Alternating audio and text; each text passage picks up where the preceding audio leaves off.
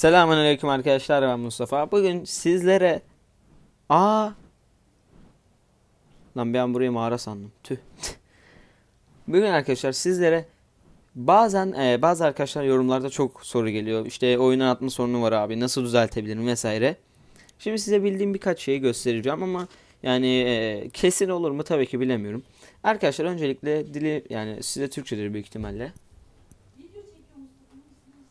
Aldınız mesela Türkçeyi. Bakın ayarlara girdik. Buradan videoya geldik. İlk olarak ayarımız pil tasarruf modunu açacağız arkadaşlar. Bu çok önemli. Neden? Mesela çünkü açtım. Aradaki farkı görüyorsunuz. Bak kapatıyorum. Gördünüz.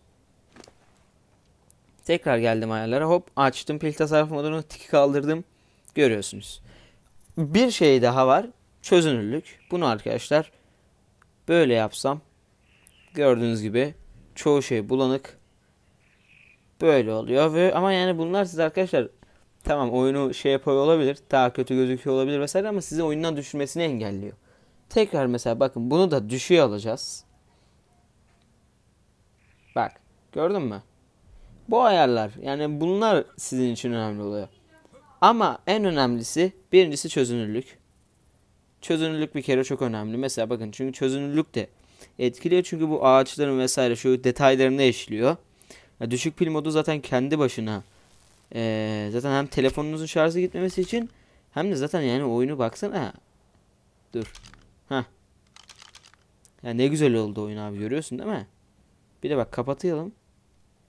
Kötü. Bak mesela şuradan anlarız. Pitereyi görüyorsunuz. Şu an zaten şey düşükte olduğu için mesela bak pek etkilemiyor. Şunu bir epike alayım tamam mı? Şu an böyle abi. Görüyorsunuz. Hop.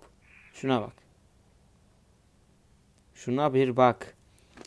Çözünürlüğü de geçtim. Epik mevzu. Şu mevzu aşırı önemli. Siz bunu düşüğe aldığınızda bakın ışık gitti. Çoğu şey gitti zaten. Fark ediyorsunuz gölgeler gidiyor. Bu da çok önemli.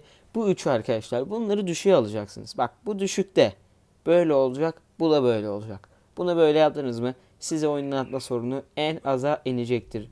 Ve atmaz yani. Buraya nasıl geliyoruz? Ayarlara giriyoruz video kısmından. Başka yapmanız gereken bir şey yok. Yine atıyorsa arkadaşlar o zaman da ee, çok yavaş oynayın oyunu. Mesela böyle 5-6 tane dinozorun iç içe olduğu yerlere girmeyin. Mesela ben de bile yani geçen 3 tane grifle kapıştım. Oyunu kastırdı anladığınız sürece. Mesela ben normalde abi videoları şu şekilde çekiyorum. İşte nasıl böyle fark ettiyseniz mesela benim de bazen oyun kasıyor yani. Bu benim de attığı oluyor. Yani çok fazla dinozorlarla böyle hepsiyle bir anda iç içe girmeyin. Ee, ekranınızda böyle boşluklar kalsın. Bir kısmı yukarıya baksın, bir kısmı aşağıya baksın. İşte bir dinozorun içine çok girmeyin. Oyunu kastırır, atar. Anladığınız sürece. Bunlar var yani. Başka bir şey yok arkadaşlar. Ee, izlediğiniz teşekkürler. Bu videoyu paylaşabilirsiniz yani. Çünkü bu kesin çözüm. Bu diğerleri yok uygulama falan indiriyorlar. Arkadaşlar onlar yalan.